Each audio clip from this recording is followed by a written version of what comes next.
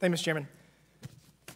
This has been one of the more difficult uh, hearings I've had in Congress over the last four and a half years. I'm very frustrated in the narratives that are being uh, pushed. I'm very frustrated with the lack of accountability. I'm very frustrated just across the board with the manner in which, uh, particularly Ranking, Ranking, Member Raskin's opening statement um, characterized all of this. And I tried to think through what made me so mad about it. And I'm offended. I'm offended at the manner in which he's accusing the Trump administration. I tried to think through it. Tried, what's, what's wrong with it? Why is it so bad? Um, and the best example I could think of is the JCPOA, the Joint Comprehensive Plan of Action, that was negotiated by the Obama administration. What was the problem? Everybody knew the problem. The problem was Iran's trying to get a bomb. Uh, there was disagreement over how to best go about stopping that, but they chose a path. That path was agreed to in July of 2015. Um, when Trump got into office, he said, I disagree with that path. We're going to take a different path. And in May of 2018, he pulled out. Um, the, the thing that drives me crazy is that if Iran had gotten a nuclear weapon during the Trump administration and he had not pulled out of the JCPOA, this would be 100% Trump's fault. It wouldn't be Obama's fault. Um, we, would, we, wouldn't be, we wouldn't be talking about the $400 million that was sent over in uh, US currency. Uh, we'd be talking about Trump and Trump's failure. But here we are 13 service members are dead.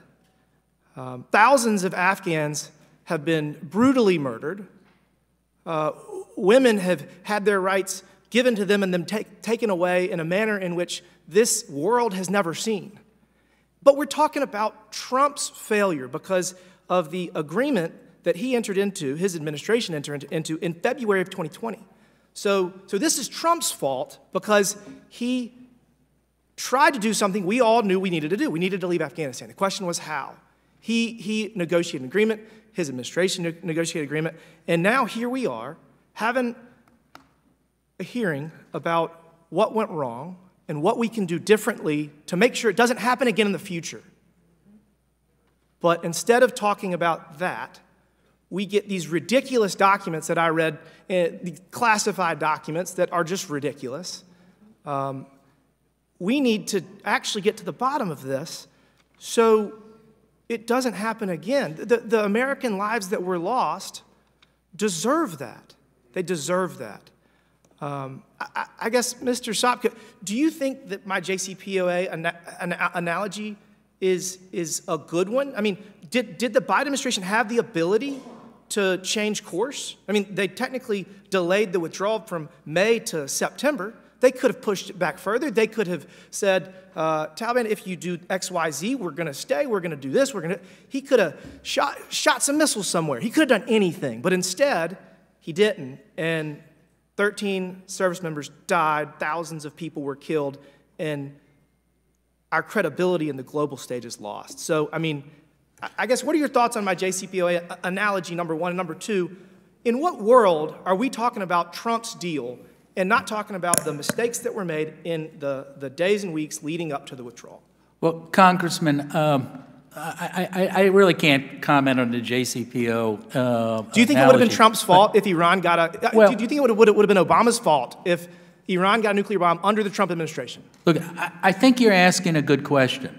I think this committee, I think, or the um, state IG or whatever, should look at that question you know, was it reasonable to delay? I can't tell you whether it was reasonable for President Biden to delay or not. And I don't know if maybe the state IG is looking at that. But those are good questions to ask. That's, that's what oversight should be. And it should be independent, nonpartisan oversight. And I, I fully support that. I've, I spent 20 years working on Congress, working for Sam Nunn, John Dingell, Bill Roth. We did independent oversight. And I think you need to do that. But I, I can't really tell you if he's right or wrong on that because we haven't looked at it. The 20 years that we spent money and blood in Afghanistan and the 13 service members that died deserve accountability for the mistakes that were made. And we are not doing our job. The documents that I read, these classified documents, biggest joke I've ever seen.